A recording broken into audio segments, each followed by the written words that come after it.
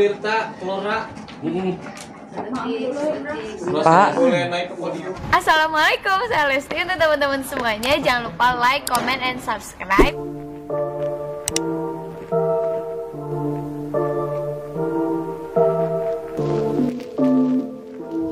Hai hai guys, ketemu lagi di Perleslaran. Kabar terbaru terupdate tentang Lesti dan Bilar. Tentu kalian selalu penasaran dan menunggu-nunggu kabar bagaimana idola dan kesayangan kita ini Lesti dan Bilar yang selalu mencuri perhatian kita semua. Wah, wah, wah.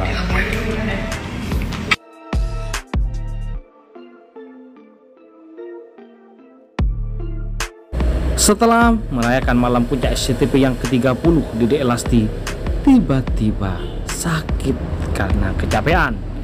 Ya, namun ternyata Bilar sudah disibukkan dengan acara syuting sinetronnya. Tentu saja hal ini menjadikan Bilar merasa kangen sama si doi, si Dede Lesti.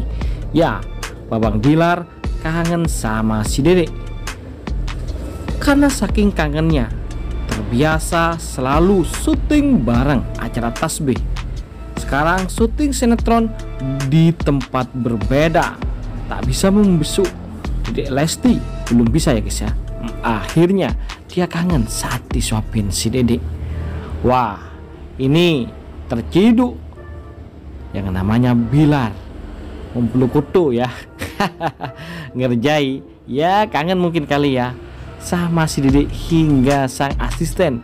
Eno pun jadi penggantinya.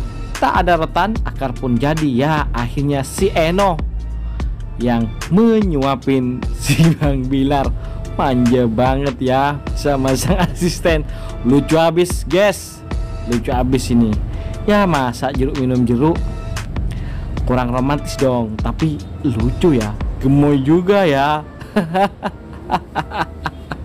ini menunjukkan bahwa Babang Bilar tidak bisa berpisah jauh dengan si Dedek Lesti.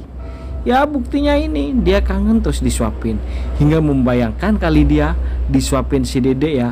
Makanya dia minta suapin sama si Moreno sang asistennya. Kira-kira bagaimana guys menurut kalian? Ya terkait keseruan ini ya. Terkait ya apa ya? Sesuatu yang bikin kita salfok. Karena masa si Eno sang asisten nyuapin Bang Bilar yang udah gede gitu. Ya sesuatu yang berbeda banget. Dan ini gokil lucu habis. Ya gimana ya Lesti kalau ngeliat di feed Instagramnya si Eno ini? Bagaimana kira-kira? Jadi coba kalau kalian bayangin bagaimana kira-kira bagaimana komentar kalian juga Silahkan kalian komen, like, subscribe yang masih belum. Terima kasih telah menonton. Yuk, bye bye.